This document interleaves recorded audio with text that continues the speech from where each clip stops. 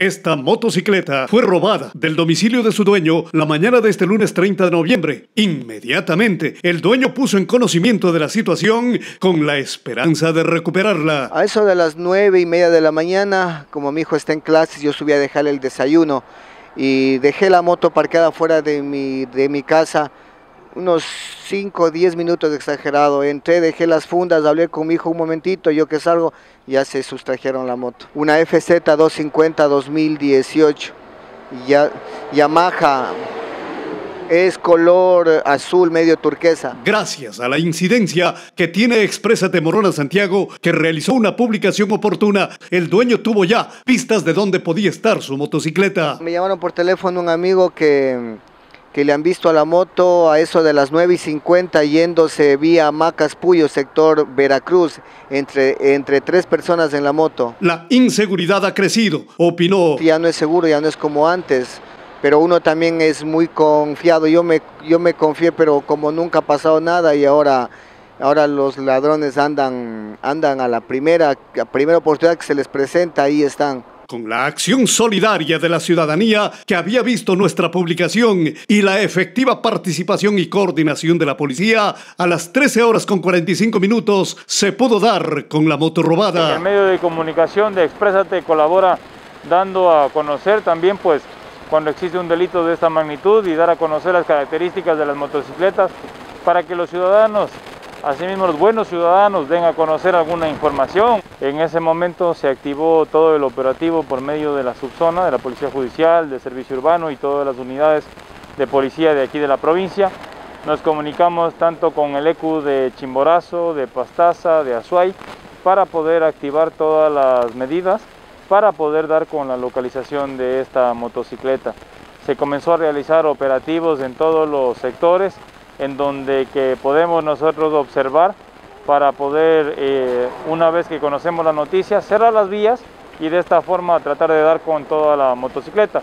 Es así que a la altura de la entrada de Palora, pues obviamente el individuo viendo los operativos policiales deja abandonado la motocicleta en un sector en donde que la policía judicial procede a la recuperación de la misma y es puesta o devuelta a su dueño, a su legítimo dueño. Por ende, nosotros hemos realizado el trabajo inmediato como Policía Nacional de la Subzona, hemos dado respuesta a este, a este delito y a muchos otros delitos que están dando durante todo este mes y esta semana, por lo cual nosotros queremos recomendar también a todas las personas, pues obviamente que, que tengan mucho cuidado con sus cosas, con sus motocicletas, con sus bicicletas, que están siendo hurtadas al interior de sus domicilios por encontrarse en lugares fáciles para el delincuente para poder llevárselas, como indico, hurtando. Esta semana hemos tenido también recuperación de bicicletas, de igual forma, eh, también de vehículos reportados como robados de la ciudad de Quito, ya vamos hasta la fecha siete vehículos recuperados aquí dentro de la provincia. Se había activado un operativo por todas las vías posibles para conseguir el objetivo, agregó el capitán Víctor Auquilla. Obteniendo todas las características de la motocicleta, se procedió a a realizar una coordinación, como digo, con la Policía Judicial y el Servicio, el servicio Urbano de del sector de Palora. Asimismo, en 9 de octubre, también otra vía de salida para la provincia de Chimborazo.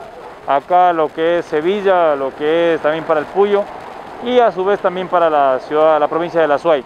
Es así que, pues obviamente, levantando información con todas las unidades, alguien nos dio aviso de que la motocicleta posiblemente fue vista eh, trasladándose o dirigiéndose para la ciudad del Puyo. Por ende se armó todos los operativos en la vía para tratar de localizar y es así donde que el individuo o el presunto autor del hurto deja abandonada la motocicleta. Dentro de este operativo participa toda la subzona en realidad. Nosotros actuamos como policía judicial, pero está inmerso servicio urbano, está inmerso las motocicletas del grupo operativo motorizado, el ECU 911 en la coordinación.